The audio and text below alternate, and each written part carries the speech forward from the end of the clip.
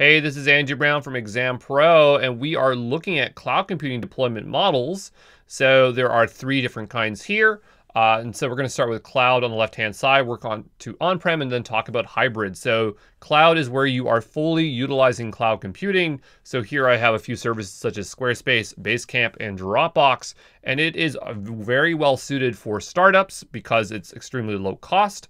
Um, it's great for SaaS offerings where um, with on-prem or hybrid, they might never get to the size where they need to uh, deal with regulatory bodies or, or it's just the nature of the applications are not that complicated or if it's new projects or companies, uh, they don't have red tape uh, because they have uh, existing infrastructure, okay? And they can uh, design to be 100% on cloud. So now going on to on-prem. Uh, so on-prem is when you are deploying resources on-premise using virtualization and resource management tools, and is sometimes called private cloud. And so uh, on-prem is still being utilized by um, a lot of companies today. And generally, you will see public sector, so the government uh, has on-prem data centers. When you're dealing with super sensitive data, such as hospitals, you have like um, health records, there is an aversion to putting that into the cloud.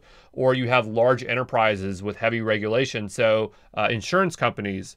Um, and I mean, uh, these organizations are starting to uh, soften and uh, start utilizing cloud, but there are still holdouts and uh, uh, reasons, both technical and um, and uh, business or political reasons, as to why you cannot use cloud. Okay. Then you have hybrid, and so hybrid is where you use a combination of both cloud and on-prem.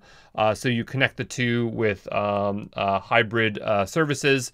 Um, and so we see a lot of banks uh, using this. We see fintech or investment management or even large professional service providers. And a lot of the reasons why is that they can adopt cloud, but they have legacy on premise uh, environments, or um, some of their uh, customers or clients still are not comfortable with um, cloud computing. So, in some capacity, they are using uh, cloud, but it's totally possible that if they started from day one, they would just only use cloud. So there you can see I have CIBC, which is a bank. Then you have the CPP Investment Board, that's a investment board in Canada. And you have Deloitte, which is a large professional service. So those are the three uh, cloud computing deployment models.